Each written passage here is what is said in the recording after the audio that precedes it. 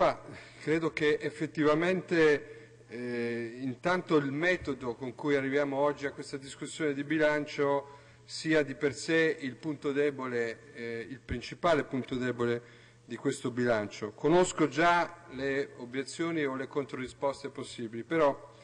eh, erano stati presi degli impegni sui tempi della trattazione di questo bilancio, siamo ormai eh, a metà luglio e anche quest'anno, eh, per il terzo anno sui cinque di amministrazione, non sarà possibile effettuare un bilancio preventivo degno di questo nome. La data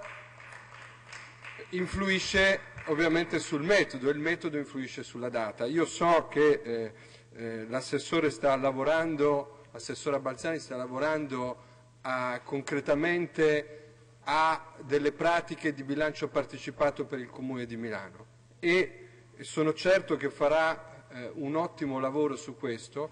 però non possiamo che constatare, visto che l'avvicendamento degli assessori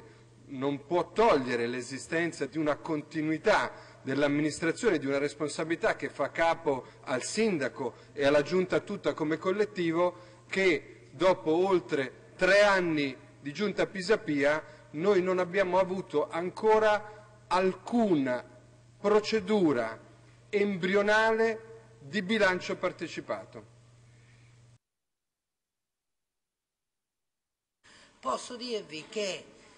l'elenco delle priorità che l'anno scorso c'erano, quest'anno non c'è perché le priorità le faremo dopo l'approvazione del bilancio. L'anno scorso le avevamo fatte perché eravamo a novembre, quindi a un certo punto ho mandato avanti gli uffici